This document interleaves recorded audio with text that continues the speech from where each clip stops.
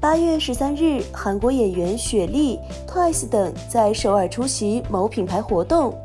雪莉一袭黑色雾感短裙，性感现身，尽显高贵优雅的气质。